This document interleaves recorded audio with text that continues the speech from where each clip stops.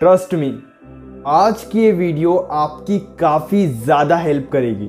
इस वीडियो को एंड तक ज़रूर देखना, क्योंकि इस वीडियो में मैं आपको कुछ ऐसी बातें बताऊँगा, जो आपको काफ़ी ज़्यादा हेल्प करेगी, जिससे आपको काफ़ी ज़्यादा मोटिवेशन मिलेगा, और जिससे शायद आप खुद को इमोशनली हील कर सकते हो, खुद को और ज़्यादा स्ट्रांग बना सकते हो। हे hey गाइस मैं हूँ श्रावण कुर्मा वंशी और आप देख रहे हो स्काइल वीडियो स्टार्ट करने से पहले एक बात बोलना चाहूँगा कि अगर आप मेरी वीडियोस रेगुलर देखते हो, लेकिन अभी तक भी आपने मेरे चैनल को अगर सब्सक्राइब नहीं किया है तो प्लीज़ चैनल को सब्सक्राइब कर लीजिए, क्योंकि आपके सब्सक्राइब के वजह से मुझे काफ़ी ज़्यादा मोटिवेशन मिलता है। अब इस वीडियो को स्टार्ट करते हैं। अगर आप भी एक ऐसी सिचुएशन में हो, जहाँ पर पार्टनर आपकी वैल्यू नहीं कर रहा, आपके एफर्ट्स के वजह से आपकी खुद की वैल्यू कम हो रही है आप इस रिलेशनशिप को बचाने के लिए एफर्ट्स डाल रहे हो, लेकिन इससे आपकी वैल्यू कम हो रही है। आप जहाँ पर बात करने की कोशिश कर रहे हो, वहाँ पर पार्टनर आपकी डिसरिस्पेक्ट कर रहा है। तो सबसे बड़ा सवाल यह है कि इस सिचुएशन में हमें क्या करना चाहिए? पार्टनर हमारी वैल्यू क्यों नहीं कर रहा है? पार्टनर हमारे साथ रहना पसंद क्यों नहीं कर रहा है?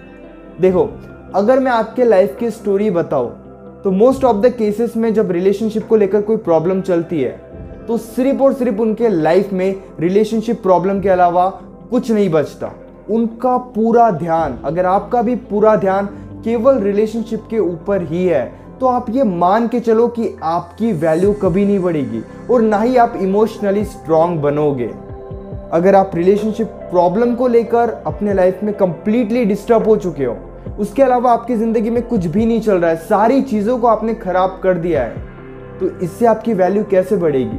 क्योंकि एक प्रॉब्लम के वजह से अगर आपने सभी तरफ़ खुद को डिस्टर्ब कर दिया है तो पार्टनर तो आपको एक लूजर ही समझेगा।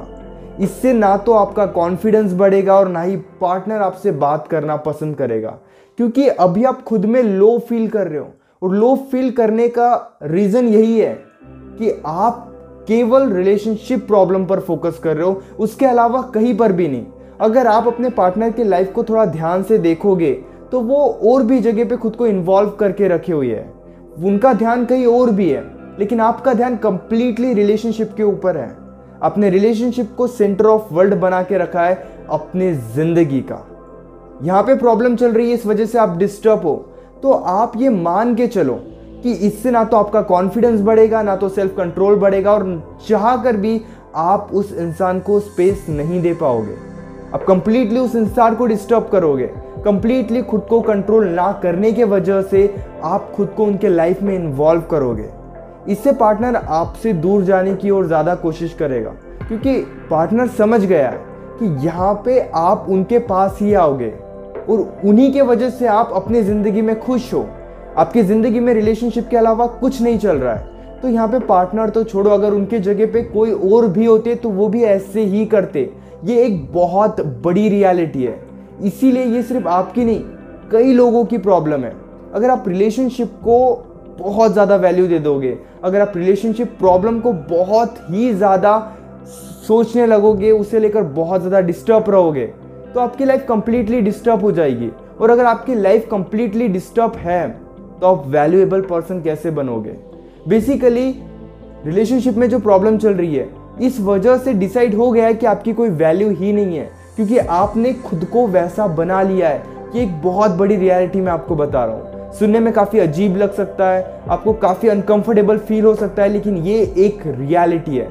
अगर आप खुद को बाहर निकालोगे, तब भी आपके माइंड में जस्ट रिलेशनशिप रिलेशनशिप और रिलेशनशिप ही चलेगा।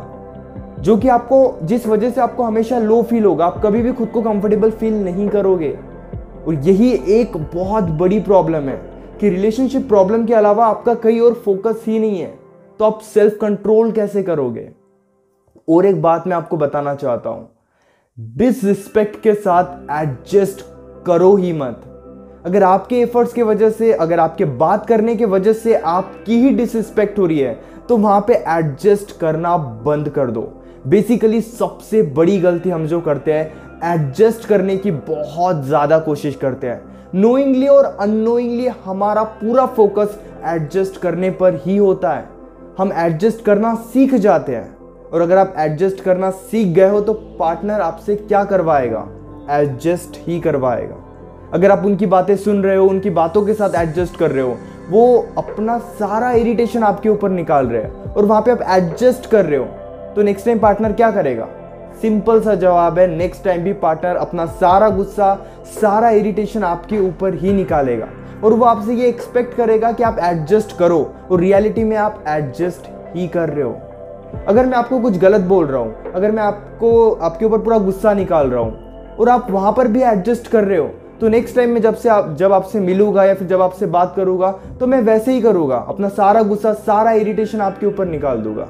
इस एग्ज़ाम्पल से मैं सिर्फ़ आपको इतना समझाना चाहता हूँ कि आपको इस बात को बहुत अच्छे से समझने की ज़रूरत है। डिसरिस्पेक्ट के साथ एडजस्ट करने की कोई ज़रूरत ही नहीं है। यहाँ पे अगर आप एडजस्ट करोगे तो इससे प्रॉब्लम ठीक नहीं होगी और ना ही आप वैल्यूएबल पर्सन बनोगे अपने लाइफ में। पार्टनर के नज़र में आप और नीचे गिरते चले जाओगे। पार्टनर आपको और ज़्यादा कंट्रोल करने की कोशिश करेगा। पार्टनर को ब्लेम करने का कोई फ़ायदा नहीं है। अगर आप उनको ब्लेम कर रहे हो कि वो आपको टाइम नहीं देते, आपके साथ टाइम स्पेंड नहीं करते, आपके ऊपर गुस्सा निकालते हैं, गुस्सा निकालने का मौका आप खुद दे रहे हो। एडजस्ट करने की कोई ज़रूरत नहीं है। जहाँ पे आपकी डिसरिस्पेक्ट हो रही है, वहाँ पे आपको पीछे हटना ही होगा। अगर आप वहाँ पर भी पीछे नहीं हट रहे हो, अगर आप वहाँ पर भी खुद को कंट्रोल नहीं कर रहे हो तो काफ़ी ज़्यादा पॉसिबिलिटीज़ है कि पार्टनर आपकी रिस्पेक्ट कभी नहीं करेगा। पार्टनर को कोई फ़र्क नहीं पड़ेगा कि आप उनके लाइफ में हो या फिर नहीं हो। क्योंकि पार्टनर को ये बात पता है कि आपके, आपने रिलेशनशिप को बहुत ज़्यादा वैल्यू दे दी है। आप रिलेशनशिप के बिना रह ही नहीं सकते। किसी भी आपके लाइफ के किसी भी पार्ट को वैल्यू देना इंपॉर्टेंस देना बहुत अच्छी बात है। लेकिन किसी भी एक चीज़ को या फिर रिलेशनशिप को ज़िंदगी बनाना बहुत गलत बात है। अगर आप खुद पे कंट्रोल नहीं कर पा रहे हो सेल्फ कंट्रोल नहीं है। वो क्यों नहीं? क्योंकि आपने रिलेशनशिप प्रॉब्लम पर ही पूरा फोकस किया है। आपके लाइफ में to be honest with you आपके लाइफ में रिलेशनशिप के अलावा भी बहुत ज़्यादा प्रॉब्लम्स चल रही है। लेकिन उन प्रॉब्लम्स को सॉल्व करने के जगह आप सिर्फ़ रिलेशनशिप की प्रॉब्लम को लेकर बैठे हो। वो रिलेशनशिप की प्रॉब्लम ऐसे सॉल्व नहीं होगी। अगर वो इंसान आपके डिसरिस्पेक्ट कर रहा है तो वहाँ पे आपको पीछे हटना ही होगा। आप पीछे कब हटोगे? आप पीछे कैसे हटोगे? क्योंकि पीछे हटना भी बहुत मुश्किल है। आप पीछे तब ही हट पाओगे जब आप अपने लाइफ में दूसरी जगह पर भी फोकस कर रहे हो। आज मैं बहुत डीप बातें आपको बता रहा हूँ। ये जानना, इन बातों को फॉलो करना, अपने लाइफ में लाना बहुत ज़्यादा ज़रूरी है। क्योंकि अगर आप बस रिलेशनशिप सिर्फ़ रिलेशनशिप और सिर्फ़ रिलेशनशिप को लेकर चलोगे तो ट्रस्ट में आप कहीं के नहीं बचोगे। बहुत ज़्यादा प्रॉब्लम होगी इरिटेशन होगा आपको, उसके अलावा कुछ भी नहीं। पार्टनर आज भी आपको लेकर अनकंफर्टेबल है, कल भी आपको लेकर अनकंफर्टेबल रहेगा। पार्टनर को आज भी फ़र्क नहीं पड़ रहा है, कल भी फ़र्क नहीं पड़ेगा। क्यों? क्योंकि आपने उस इंसान को वैसा बना दिया है। मैं आपको डिमोटिवेट नहीं कर रहा, मेरा वो काम नहीं है। रियलिटी आपको बता रहा हूँ, क्योंकि आपके लिए रियलिटी जानना सबसे ज़्यादा ज़रूरी है। आप अपने आप को कहीं और बिज़ी करो, आप अपने लाइफ को कहीं और लेकर जाओ, ये काफ़ी ज़्यादा नॉर्मल लगता है। लेकिन जिस तरीके से मैंने आपको एक्सप्लेन किया है, इस वजह से शायद आप समझ गए होंगे कि एग्जैक्टली exactly आपको अपने ज़िंदगी में कहाँ पर फोकस करने की ज़रूरत है और कहाँ पर आपको एडजस्ट नहीं करना है। Hope guys you understand what I want to say अगर आप अपनी प्रॉब्लम डायरेक्टली कॉल पर मुझसे डिस्कस करना चाहते हो तो पेड कंसल्टेशन के लिए आप मुझे इंस्टाग्राम पर या फिर व्हाट्सएप पर मैसेज कर सकते हो। इसी तरह की और भी अमेजिंग वीडियोस देखने के लिए चैनल को ज़रूर सब्सक्राइब करना।